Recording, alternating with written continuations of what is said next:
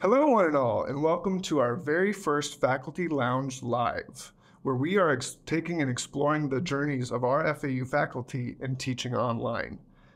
I'm your host this week, Miguel Palacios, and I am the I have the pleasure of bringing in our very first guest. We have uh, she is the assistant chair of the mathematics and science department. She is a senior instructor of mathematics. Dr. Papiya Bhattacharjee. How are you doing today, Dr. Bhattacharjee? I'm doing great. Thank you so much, Miguel. Thank you so much for inviting me to this event. I'm really honored. Well, it's an absolute pleasure to have you. And when we were looking to have guests in on the show, I found that the subject that you teach is very interesting to talk about in an online setting because when we think of mathematics courses traditionally, there's a lot of moving components. We have uh, students that are not only supposed to be able to show that they've done the work correctly, but how they've done the work. And I really want to kind of uh, hone in on your process of how you have been able to enable that in the online setting. What are some ways that you've been able to allow your students to show their work and submit that in an online setting? Great question. So yes, uh, you know, the first time I taught a online class was when I came to FAU. I Yeah. did not teach before that. And I found out, oh, we have a wonderful, you know, COSI is there to help us along the way. So that really helped bring down that, that nervousness that I had, how to do it. Um, so obviously, um, first time teaching online, I realized that, well, I have to do something similar to the in person but of course i can't always have the students there but i like you said that was the big component how to make sure that we check all the work that they're doing. Um, so when i built the course the first time uh, i built an online course with cosi um, i made sure that the exams let's see what did i do? So the exams had basically two components to it. Um, there was the exams were created online. I think i used canvas uh, quiz uh, as well at one Yeah. time. Um, and then uh, so it's not just about giving the correct answer and getting the points. Yeah. i made sure of that. So i kind of divided up the questions so that they will get some points right away if they got the correct answer Yeah. but then they have to actually solve Yeah. the problem on paper, submit it on, Yeah. through Canvas, and I'm going to grade it later. Yeah, that's the meat and that. potatoes of that. Yeah, That's Exactly. fantastic. So- Because it's like, you know, and, and that's what we see a lot of the times is we think online and it's, okay, it's just going to be an exam. I'll punch the box in, show that I did the right answer. But I think with mathematics, it is that problem solving aspect. It's not It's not always just the la- last answer. It's how Yeah. did you go through and get to that point. Yeah. Maybe a slight li- little mistake in the end made a mis- you know mm-hmm. made the answer wrong, which is also a big deal. But if you did. Yeah. of the process correct, that'll tell me something about. Yeah, absolutely. It's all about the journey with mathematics. yes. So, in working with you on building some of your courses, I've noticed that you put a heavy priority into active learning. And I wanted to see if you would talk a little bit about how you integrate that into your online math courses. Yeah, so again, it comes from again my experience in the in-person class. I really like an active learning component there. I feel like the students learn better when they discuss among the peers, even with me in a different setting. Yeah. Like when I'm standing in front of the board and they're asking questions that's different than when I'm going to their table and chatting with them in a friendly manner or whatever manner and they can ask Yeah. more comfortably. And also a presence of a TA or an LA that is, uh, you know, another undergraduate student and they Yeah. can be more comfortable. Yeah, they're like the champions of what is being taught, and they can help you really facilitate. And they also understand the difficulties, the areas that the Yeah. students might be having that I might not perceive sometimes. Mm-hmm. Um, so yeah, so I always wanted to do that. So the first course I think I built, I did not do that much of active learning. I did do a group work component there Mm-hmm. using the group work uh, feature that we have in Canvas, and then it worked well. There were pros and cons to it, but the students, uh, the idea was uh, the groups were formed between students and they had to come together as a group and solve uh, Yeah. problems on a worksheet. They have to submit it. So, like I said, there were pro and cons. Some people Yeah. loved it, loved it. They had those friendly relationship with a few other students. Mm-hmm. They were, but then there were also problems like, oh, hey, Dr. B, this person never works, never Yeah. comes in, but gets the point. So dealing with those. Yeah. Um, moving forward in the upcoming semester, I'm uh, developing this Calculus One course, and we are going to in- incorporate active learning quite a bit. Yeah. Uh, our new QEP at FAU, as you know, has this LA component, the learning assistant, and I'm building that into the course. So this is a little bit more than just a group work, um, even though it's a uh, it's a fully online course. So the idea is that the students will be told ahead of time that there is a certain time in a week, and the time is just an hour and a half, not a Yeah. whole lot of time, that they have to make themselves available. Yeah. and we will form a group. It's not uh, it's a group of like four or five students. And then there will be an la present during that time. But they all get together and they work on a worksheet with the help of the la Yeah. and i'm hoping that that will really create that engagement in the Yeah. students and uh, the motivation to really work the problem themselves Yeah. and not just get the answer from somewhere else and learn that way better And I think that way the LA can actually see and maybe even do a little bit of diagnosis of like, okay, this student may need a little bit more uh, help on this certain topic, or maybe we can kind of spend some more time here.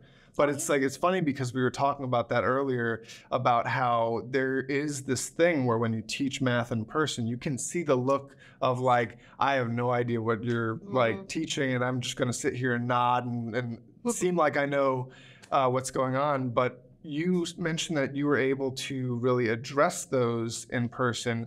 And I think that this seems like the, the perfect solution to be able to address those online, to really have that sense of community in the online space.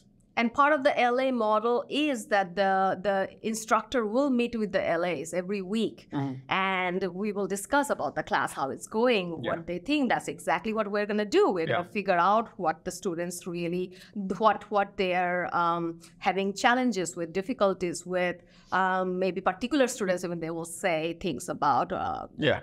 it's not it's it's not working very well or whatever and then we will figure out accordingly Yeah. how to make certain modification to help these students And better. that's, I think that's fantastic because I think on a semester to semester basis, student student basis, even, it's always going to be in flux as to what the student's comfortable with, what they are, you know, able to really take in and put back out. And that allows you to pivot with those needs of the students and really uh, uh, refine the, the, the experience for each student. and uh, if you don't mind i will tell you one other thing i Yeah. have an idea about this class and uh, we will see how it comes together we have to do some assessment um, of student learning and then one of the ideas that i have is make students um, get engaged in um, kind of not only that how they are understanding but how also they are discussing with their peers and um, and doing kind of the group activity. Uh, so one of my idea is to have them create a video a very short video of solving a problem Yeah. but as a group not Yeah. as just individual and they will have to record that and send it to me and i'll take a look at it. So they have to come together and they will discuss among themselves the pieces that they were going to say it Yeah. has to be short i will i'll make a time limit so it's not very long so they have to figure out how to so hopefully that will get get them engaged Yeah. that's my my main concern is that they are not getting engaged Yeah, and I well. So- think a lot of that is really helping build that group mentality because the one thing that, you know, I think I've realized as a student myself is that life is group work. Mm-hmm. Life is a big group work assignment and being able to collaborate with your peers and the people around you to get a result is so pivotal and I think that with these ways of executing a mathematics course, they are going to actually it's going to change the dynamic of what a uh, what mathematics means to students. You know, it, it will become more of a holistic way of learning how to problem solve instead of I just have to solve problems and then I'll never use this again. And it also the gives them a little bit of a confidence in a way to Yeah. do it together with some people and Mhm. not just individually. and then you're using presentation tactics, and they're they're getting uh, comfortable speaking with people and speaking in front of camera, and it's there are all these different uh, layers to it. That's really That's exactly the idea. And Yeah. I do that in my a little bit upper level math classes. I do have them go and do presentation so that they can get used to that Yeah. concept. And so I'm really trying to do that in the online class. That's yes. exciting. Yes. So I want to kind of go back in time a little bit. Uh, I want to talk about your first experiences teaching online and doing mathematics courses uh, at FAU. And I want you to talk a little bit about how your process has changed throughout the years and like with the advances in technologies, what has evolved in your courses that you feel like has really empowered you uh, in teaching your courses. Sure. Um, so I think the first course was you know four years ago or Yeah. something, maybe yeah, four and a half years ago when I developed it. Um, and again, that was the first time I was going to teach online. Um, and at the same time, uh, I was developing a OER for that same course, Yeah. Open Education Resource Textbook. Um, so that was a, a huge project that I did in one of the summers, uh, summertime. Um, so one thing that I really enjoyed right away at FAU, and because I have some experience from before, is using Lightboard to create Mhm. videos.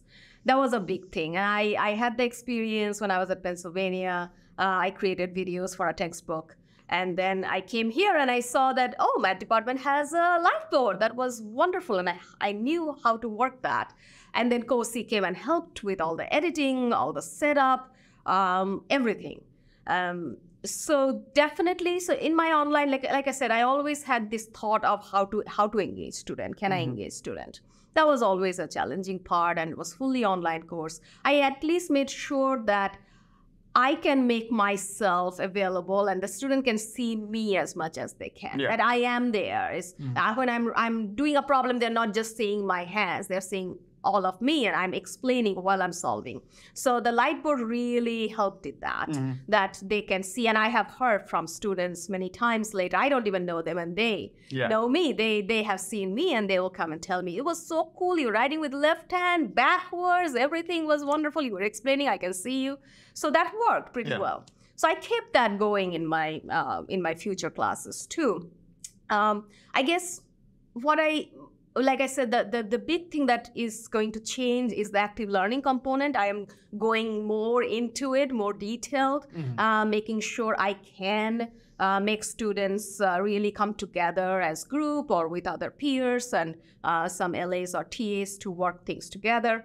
Um, and my videos are always going to be there, even better probably in a sense that I realize I should not make too long videos. That's not going to be very useful or students might skip over. So Yeah. shorter videos, more concise. Um, uh, when I make a lecture video, I don't do a 30 minute video. I will do short lectures, pick the topic, short one, so that they can easily and, and write the names correctly so that they, oh, I want uh, an idea on the L'Hopital, I'm just gonna watch this video. I want uh, example on L'Hopital, I'm gonna watch this video. So break them up so that the students don't get bored, Yeah. let's say. Yeah, you're, you're, Um, you're diving deep into like that micro learning sort of setup, which is great because I think that as a student, if I can't solve a problem, being able to watch it solved repetitively, like on loop or repeat, whatever you want to call it, um, it can help you really,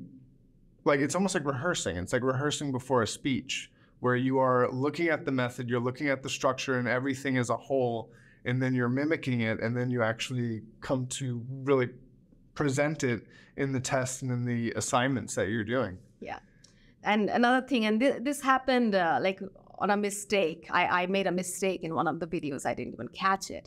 And then one time a student came to me and asked me about it. Yeah. Hey, I saw this. Uh, this doesn't seem right. And I knew, hey, they're watching the video, right? Yeah. And now my idea is, hmm, should I do that? Should I do that That intentionally in a video? yeah. Yeah. I'll be like, maybe I'll even say it. It's not a tricky thing. I'll probably say that, hey, guess what? Um, I don't know if I did it correctly. Can you guys check? Yeah. Like at the end of the video or something. That's- and then we'll see if the students really see it and come back to me. because that turns it into a, an I do, we do, you do sort of yes. situation. And I try to be interactive as well during the my videos. Uh, like I'm talking to them really. I'm Yeah. asking them questions while I'm writing. Yeah. It's not just plain Well, writing. The it. one thing that I loved that we were talking about before we started rolling was that you said that I'm not seeing my students, but I'm pretending that the camera is my student because even though you're not seeing the students, the students are seeing you. Exactly. And that's such a huge thing in online learning that teacher presence, that ability of feeling like I'm not alone in this. It's not just I'm logging in, doing the assignments, and then it goes off into the internet. Uh, so I think that that's really cool that you put that level of attention and detail into your video content and really make it about the students because it's their they're the ones that are you know really accommodating that learning into their knowledge base and i think that it's a, a wonderful uh, thing to do Yeah, That's I'm. awesome. I usually am very. You know, I, first time I started, I was very nervous in front of all this equipment, the camera, and I had to tell myself, forget Mm-hmm. Yeah. about everything. Just look at that red dot. That's your That's your student, and you're teaching, yeah teaching your that. student. That's how I do it. Correct. That's awesome. Yeah. So you talked a little bit about how um, you know working with us and working with our department has really empowered you and enabled you to be able to do these things in your courses that you uh, you kind of have a vision for.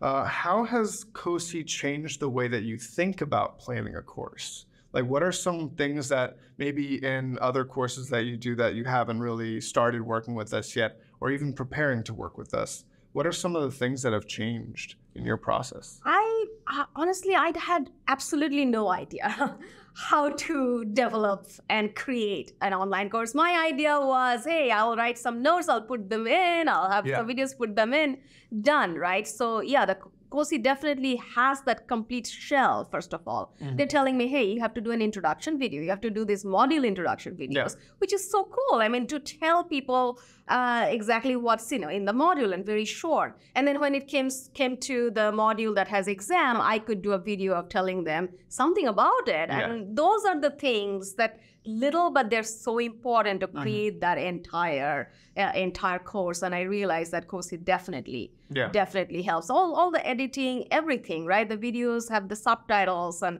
I would never even think about Yeah. doing all those technicalities, but they're so important for Mhm. students. Yeah. Um, I became more organized, I would say, about writing my notes, creating nice way, the way readable way, and with um, with colors, with uh, you know uh, different manipulatives. That definitely helped. Also, I got these ideas uh, from COSI, and just the support itself. I mean, when I'm like really at that point i cannot finish this here comes somebody from cosi telling me you can do it Yeah. and we did it together i mean the help was uh, immense and everything that was already organized so neatly so nicely i didn't have to worry about any of that i just do Yeah.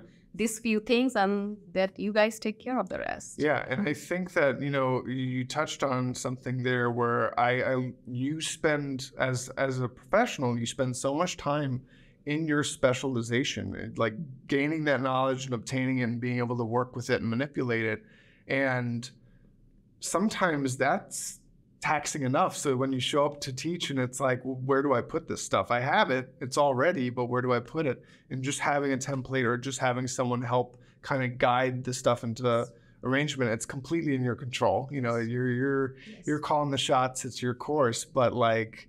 Uh, I think it's really uh, a nice thing to have to be able to have someone to show you a scaffolding and give you that first step to going out into your online journey. Also like when i developed the oer textbook i have to say you know um, i had uh, cosi stuff really helped me with editing the textbook Mhm. um, so that was a that was a big huge huge huge. Yeah, to yeah. get that textbook ready and done and ready to go when i wanted it to be to to be ready to go and the students are using it free of cost Yeah, it's absolutely amazing experience that's awesome. It looks like we've got a question, so uh, we're gonna let that come on in. Okay, so Mary wants to know what LA means. Ah, Um, so LA is a learning assistant. Um, uh, so FAU has this new QEP, and then uh, the director of uh, Math Learning Center, uh, she is in charge of this QEP now, uh, and we are using learning assistant in our classroom. So these are undergraduate students that are um, who are no, it, it's different than TA. Uh, not teaching assistants. So they actually have to take a pedagogy class. They have to learn about how to become a learning assistant. They have to learn about the topics. And then, um, so I taught with LA in an in-person classroom, and I will be teaching with on in the online setting this uh, in the fall semester. So I can tell you about the in-person. So uh, this is like calculus two, the calculus sequence we have. Um, uh, the classes are two days a week, um, and it's uh, about an hour and 50 minutes each day, each class. So what I did as a as a professor, I would go in the classroom and teach like the first 50 or 60 minutes, depending on you know what the material is, how much time I need. But then the last hour or so will be left for uh, the LAs will be there in the classroom the entire time, and then uh, we'll prepare worksheets ahead of time for the students to work on okay? And then the LAs are going around, the students are formed into groups, um, and they are working on the worksheet with the peer and with the help of LA, and me too, present there. Uh, so it's a complete active learning setting that they are not only just listening to lectures, they're also solving the problems um, in, in the classroom. And then they will have homework to deal with later as well. Um, so that's, that's uh, what LAs do. Uh, also, once a week, the LS will meet with the instructor and go over, uh, talk about the class, the students, and go over the worksheets. So the instructor making sure that the LAs know the topic and how to deal with the questions as well. That's excellent. I, I think that that's, you know, I, we were discussing before uh, we started rolling how LA's changed the uh, the kind of landscape of a mathematics course where it does make it more collaborative and it makes it more of a uh, discussion. You know, you're, you're doing uh, more active learning processes and more authentic, you know, leadership and even a little bit of mentorship there as well. Mm-hmm. Um, Absolutely. And and these some of the students they get so interested about this whole mm-hmm. thing. They want to become LA. Yeah. And they're good students that are coming from, you know, these classes and they're getting and that. It's experience. great experience too Very for, for those that might want to be uh, yeah. instructors in the future as well. Correct. Correct like I say, I learn a subject better when I teach it, honestly. Yeah. So they are learning that yeah. subject even better when they become the LS. Yeah. yeah. Um, what are some things that you are looking forward to doing in, in online? Like we, we kind of touched upon active learning and the different uh, ways that you are, are really trying to engage your students and, and get them actively participating in the materials. Are there any other uh, things that you're looking forward to integrating? So, not on top of my head, like really concrete anything, right? But moving forward, um, so in math, at least I can talk about, uh, there are different courses, uh, lower level math courses, or intro level, I should say, when students come in and they're taking it.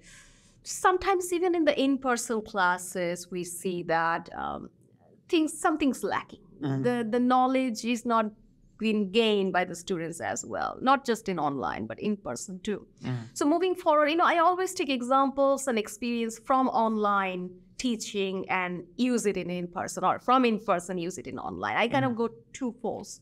So really, use teaching these different modality classes. I'm trying to come up with ideas to make these other courses better, uh, and better in the sense that for better for the students. The students will learn more. Mm-hmm. Um, engagement is of course necessary, and even in in-person classes, we yeah. sometimes don't see them yeah. engaged as well. So active learning is definitely a big component moving forward. Um, there are many courses we don't have active learning, even in the in-person classes.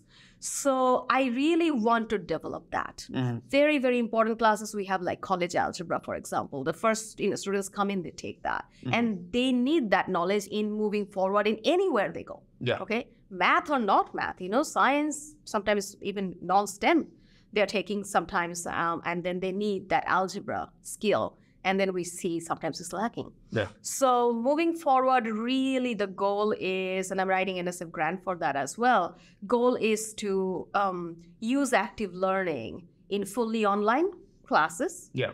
And in person as well, but focusing on also that fully online sections because that's where we don't know how to engage students yeah. as good as yeah. well. And hopefully, this Calc One, how we're setting it up for a fall semester, will give me more ideas mm-hmm. of how to use that in other classes. Yeah. In a fully online setting and see if we can use some of these ideas there. Yeah, and really just integrate that idea of an active experience into the online learning space. Yes. And then I see we have yes. another question. So uh, I'm going to open it up so that they can ask. Hi, uh, this is uh, Corey Sorgi. Thanks, Poppy. This is very interesting. You have an interesting perspective uh, as opposed to maybe some professors here at FAU that you have put together a textbook, in this case, an OER textbook, and have done development on a lot of uh, video resources. Which do you feel is the bigger bang for your buck and why? And I'll just leave it at that. Corey, can you repeat the last part? you've you've done the the textbook side where Yes. there's a lot of written resources that people can read through Oh. and you've done the video aspects where people can be more of a consumer and whatnot which do you feel is the bigger bang for your buck in terms of your time resource Oh, oh, oh, uh, yeah. yeah, that was a very challenging time, by the way, when I had to do both at the same time. So I realized that, you know, students are not really picking up textbook and, and reading that. That's, that's a big, big problem we have. Um, so when I created this e-textbook, well, you know, it wasn't completely written by me. Uh, there was a textbook already available and it was free. Um, and I took that, I, I adapted that. I, I added more stuff that we need for this course. I changed sections. I rewrote some uh, some of the topics. Uh, I adapted it. Um, so I, I hope that the way I was writing the textbook was in an explanatory way. So even when solving a problem, it's not just showing the steps, but kind of putting their words like why we're doing this, what we're doing. And then on top of that, I put videos in the textbook too added videos there. So my hope was that the student will pick up, probably, hopefully, to watch the video, and then they will see, oh, an example sitting right there, and they will read it. Um, to me, it was it was a lot of work working on the textbook. Absolutely, that took a lot of the time. The the video preparing that came a little bit easier to me because I had the experience uh, before. I would say, and like I like I said, it was all like just teaching in classroom to me. Uh, but yeah, writing the textbook took quite a bit of time. But COSI, uh, Abigail uh, really helped me in editing and and, and completely um, getting it all done. I would say, um, um, but it took a lot of time. And how much the students are using it, honestly, I don't know. But I think I know this that they are solving problems from the exercise of the textbook. So they are picking it up. They are looking at it. That I know because they will come to me almost every semester and ask for, hey, can I get the answers? And I have to say, I don't have the answers prepared yet, but soon. I hope that answered your question. thank you yeah i think it did Okay. Now, um, I kind of want to get back into the uh, media conversation because you, you really you do a lot with the Lightboard technology, and um, you actually uh, talked a little bit about ways to do almost a multimodal sort of approach. Like, well, you're you're already doing that with the textbook, which I think is excellent because it it really accommodates the different uh, learners and the different styles and the ways that they like to uh, consume the content. Um, what are some ways that you are looking to innovate with Lightboard in the future? Like, what what are some? That's a very good question, and you know, I have been I have been thinking about that because sometimes, maybe most of the times, the problems we are solving, and I try to solve not the simplest problems, but maybe it's more complicated ones when I'm doing in Lightboard, and then space is always an issue. It's not Yeah. the the largest you know uh, uh, board to to work on to write on. And that is always a problem. And you know if you have worked on light with lightboard you know that it's very um, challenging to erase. Yeah, so uh, once you complete it it takes some time to erase everything and then write. So i cannot have a problem i'm doing it and then erasing. It's not like chalkboard or or, Mhm. or our smart boards and then we keep on writing. It's not like that. So you have to be very careful. And those are the technical things i have learned. Um, so we cannot make it bigger. It's one size. So i always wondered if there is a way to incorporate like portion of the things already there and not necessarily written by me. Yeah. maybe some powerpoint will be there on one side and then i solve the remaining part so Yeah. dividing it up in such a way so i don't have to erase but you can see both you can have some like maybe recap some of these formulas and i don't want to write all of this down or i Yeah. don't have space So how about recapping part will be shown along with then I'm showing the problem. Yeah, I, I, can definitely see there being a benefit from uh, putting in some concrete elements that even maybe I don't know if there's a way to like stick it on the other side, right. write it in there, and right. then what you're erasing will not impact what needs to be there, but allow you to build off of it yes. as you go forward. Yeah, for math at least, I feel like that will be kind of helpful. Yeah. Moving forward, you know, if you can if you can figure that out. Yeah, yeah, yeah absolutely. yes. yes. But you know, technology itself, like I said, is always wonderful to be present in mm-hmm. front of your student. You're talking and, and you're writing and getting yeah. edited and everything. Yeah, uh, it's already in itself is a wonderful technology. I wouldn't change anything, but mm-hmm. the space is the problem. That's always yeah. my issue. Yeah. Uh, drawing on it is not the best thing for me. When I draw uh, x y axis and a graph, I always get wiggly lines and yeah. those other things. I feel like if we prepare some things ahead of time, yeah, and, and then if, if, you're anything like me, it's getting the line wrong is just gonna. yes. yes. I want to make sure that it's good the first time. exactly. Looks like we got another question, so yes. we're gonna let them unmute and. Um, I'm assuming that was based on on the fact that I had my hand up, and mine is not so much a question, but to say that I honor you for your creative use of the tools and then your wisdom to try to think how to improve on where you are and how to get where you need to be. That's that's uh, that is delightful. Thank you for thank you for being there and doing that and being able to get your students actively involved in something as abstract as calculus is phenomenal. Thank you. Thank you so much. Thank, Thank you. you. so much for that. So I want to talk real quick uh, about MyOpenMath. Okay. Uh, I've really outside of the courses that we've developed together, I haven't seen it utilized a lot, but it's a very interesting service because it is at no cost to the students. And I just wanted to kind of see if you'll talk a little bit about how you integrate that into your course how does that uh, what ways are you integrating it? And of course uh, what are some ways that you find it is a, a creative solution to some uh, limitations that you have in the online space? Absolutely. So yeah when i was given this task again four or five years ago of developing the oer for the methods of calculus class and we uh, we were uh, as a committee we were trying to we were looking at uh, different areas and then we found um, the, the textbook, uh, OER textbook, and the MyOpenMath associated mm-hmm. with it. So the people who created it, they got a big NSF grant to create it, and it's all free. And I think now hundreds of uh, yeah. colleges are using uh, this. So when I saw it, I honestly, I, I, I thought this was very parallel to like the MyMathLab that mm-hmm. Pearson has. Yeah. it is of no cost. Now, there's of course pros and cons to that, right? The pro is yes, no cost. Con is oh, troubleshooting. What do we do?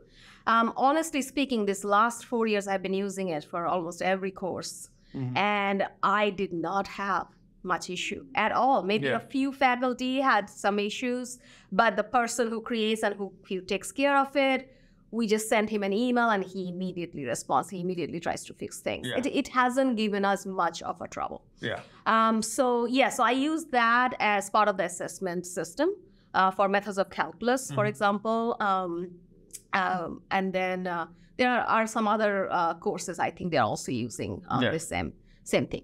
Uh, so we use it mainly for homework purposes, so the student can do all the homework there. Some people use it for exams as well. Mm-hmm. Uh, I personally, for methods of calculus, um, in-person classes, I do not use this for exams, only for final exam.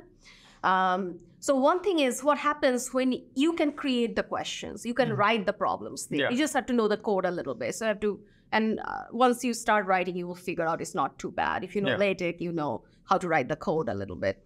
So, um, and then once it's written, you can actually give a permission for others to use, or you keep it personal. Mm-hmm. So people usually write the code and then let it accessible to everybody. Yeah. So the the good part is you can just, I need a topic, I, I need to find questions on derivative, and you just hit that write that down in the in the search box and it'll give you all the questions that are available and you can Oh. choose from the list what you want and then what i do i like a question but let's say i don't like all of it or i want to add more to it Mm-hmm. i just open it up and i can edit the problem as i seem fit Yeah. and it's my problem now That's awesome. so there's so many things you can do. It's absolutely wonderful. You Yeah. can add, you, you can have questions where the students will draw, Mm-hmm. and then it, you have to correct it. You have to grade it later because pictures can be different. Yeah. But you can have those type of interactive questions as well. They're they're wonderful, that is wonderful. and it is getting better and better. It's getting the, the again the person who created it. He's Mm-hmm. putting more stuff. He's developing it. and It's making it better. So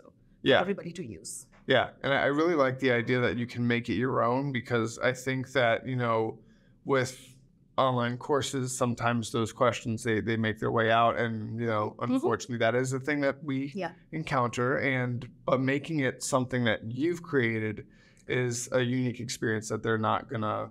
Yeah, and all random questions. Every student gets a different question anyway, so Mhm. that's also there. Now, um, for MyOpenMath, uh, does that enable students to show their work, or is that something you that you can Okay. make that part of it. Yes. that's awesome? yes. I didn't realize that because you know when you think of Yes. online uh, tools for Correct. mathematics, you think of just hit the Yeah. visit A through D and then kind of answer as such. But being able to include the logic in that is really a powerful. Yeah, e- even for methods of calculus class, the uh, fully online section, I have uh, that incorporated. They, I created the exams and then every question, or not maybe every question, but the questions where they can write and uh, show work, Yeah. uh, that is incorporated. There. Yeah, Yes. absolutely. It looks like we've got another question. Yeah, so the question in the chat is Does my math, oh, sorry, does my open math still work within the Canvas environment? Yes, Yes, it does. Yes, that's what we have been doing. that, that's been the the very exciting part of it is its integration into uh, the Canvas uh, courses that we build and allowing the grades to kind of carry over and, and do all those different. things that we And. I think I should add this that because that was a concern I had. If we are doing exams, and we can also incorporate Honorlock and lockdown browser associated with it, That's even though it's an external, Yeah. uh, external Yeah. uh, thing. That's Yes. very powerful. Correct. So, um, now we kind of talked a little bit about uh, your assessment process. Uh, what are some ways that you uh, you accommodate a student that might be struggling? If you have a student that is maybe not performing to the caliber of other students, is are there any ways that you allow them or, or enable them to kind of build that comfort with the content and with the subject before moving forward, or are there any solutions that you have to that? Communication is a big thing. Yeah. Um, it always happens. Students struggle. Um, I am very big with identifying right away uh, who is not performing well and communicating with them. Now, mm-hmm. honestly, it is challenging in both in person and online. Like in the summer, just summer semester, um, the very first week, they were like, half of my class didn't come to class. And I was getting so worried they will probably drop or what is going to mm-hmm. happen. And I had no other way of communicating but write an email and, and like really tell them that I care for them. I want them to show up, mm-hmm. otherwise, they will not learn. And then it worked. It worked. They did communicate. So I feel the same thing with online. You know, it doesn't matter what type of class, class I'm teaching. I really communicate with the students right on time and make sure they know that I really do care. Yeah. I want them to be successful. I want them to um, to not lag. And I tell them, listen, Yeah. you if you are not doing this ass- assignment, for example, and you might later will ask, hey, this is what happened, or I could not do it.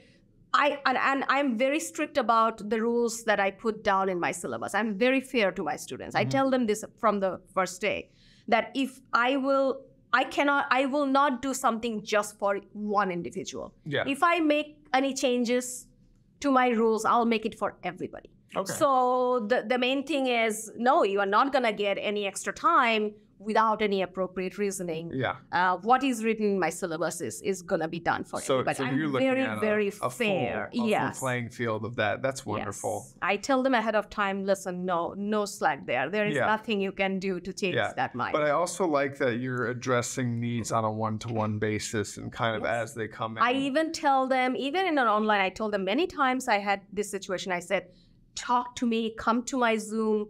Um, I will create an office hour just for you. I'm going to sit down with you. Tell me what your difficulties are. I'm g- willing to explain. But you have to make that commitment, of course. yeah. I cannot do everything, but I can try to help. Street. Yeah. I can try to help, but you have to take that help and you have to go with it. That's excellent. So we are uh, coming to the close. I want to thank you again so much for joining us on our inaugural episode of Faculty Lounge Live. Um, and I want to just open it up. If there are any questions that any of our lovely guests have, uh, feel free to ask them now, uh, and we'll leave it open until we are uh, ready to call it close. So uh, once again, thank you so much for No, joining thank you us. so much for letting me do this. This is great. Yes. Well, I, I I love that you know I was able to do this first one with you because we we have built very unique courses uh, together and Right. you know mathematics like I said in our uh, initial talks before we started uh, it's one of those things that really uh, is kind of elusive in the online space and right. Yes. you know being able to solve those problems individually Correct. Yeah. Like I said, I mean, we have, we know how to face students in the classroom and see what is going on and decide based on that. But in online, we have that lacking and we have to figure out ways yeah to make up for that Mhm. and make sure the students still learning and, Yeah. uh, and gaining the knowledge that we need them to, we want them to. Yeah. So, And really, I, I think that along with the innovations that you've added to uh, your courses and the new things that you're testing out with the learning assistants and you know uh, the QAP program, uh, being able to run it and test it out is really uh, that's going to be equally as helpful as the innovation itself. and being there the COSI really really helps uh, honestly that way i mean if i had to do it all by myself it would be it would be Uh-huh. a real challenge Yeah. so having that support and help at fau is absolutely wonderful Yeah. Yes. Awesome. Well, thank you again for joining us. Uh, we're going to call it here. Uh, this video will be up on our YouTube at the end of this week, so you'll be able to watch the recorded version. And uh, we look forward to seeing you next week. Bye bye. thank you so much